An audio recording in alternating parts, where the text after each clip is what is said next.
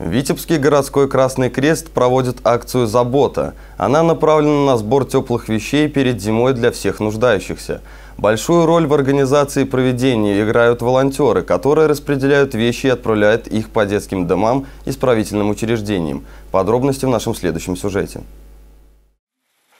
Витебская городская организация Красного Креста существует уже более двух лет. В ее составе около 300 структурных звеньев. Важное место занимает работа по оказанию помощи малоимущим и многодетным семьям, лицам, освободившимся из мест лишения свободы, а также не имеющим постоянного места жительства. Конечно, объем работы очень большой. Э, эм, городская организация Красного Креста работает по всем тем направлениям, по всем тем уставным программам, которые идут у нас в Беларуси. Поэтому Э, неоценимую помощь, э, конечно же, нам оказывают наши волонтеры. Волонтер Татьяна Архипович уже около 10 лет состоит в ресурсной группе «От сердца к сердцу». В нее входит 16 человек. В основном это пожилые люди. Волонтеры под руководством Татьяны Николаевны участвуют практически во всех мероприятиях и акциях, которые проводит Витебский городской Красный Крест. Не стала исключением и акция «Забота». В чем заключается акция?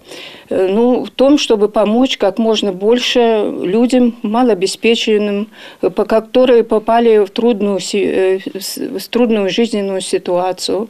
Это у нас бывает, э, приходят люди и малообеспеченных семей, Лучше других чужой бедой знаком тот, кто сам находился на месте нуждающегося. Иногда люди помогают, потому что помнят добро и ценят внимание, оказанное в трудную минуту. А некоторые считают, что протянуть руку помощи – простой, абсолютно нормальный шаг для любого человека. Раньше, когда-то, э, Красный Крест мне помогал. Мне помогали, когда мне нужно было.